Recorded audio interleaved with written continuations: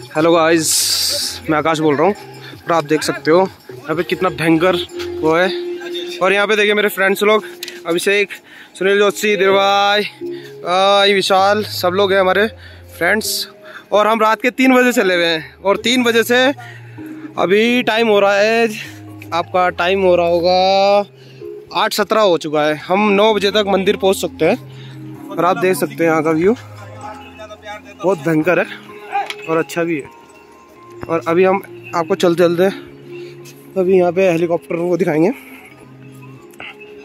और हमने जाने के लिए हेली पे सोच रखा है, क्योंकि हालत बहुत ज़्यादा डाउन हो चुकी है, क्योंकि हम सोनप्रयाग से पैदल चल रहे हैं। तो आप मान सकते हो कम से कम सत्ताईस किलोमीटर। और सत्ताईस किलोमीटर में हालत डाउन हो जाती है हम लोगों की।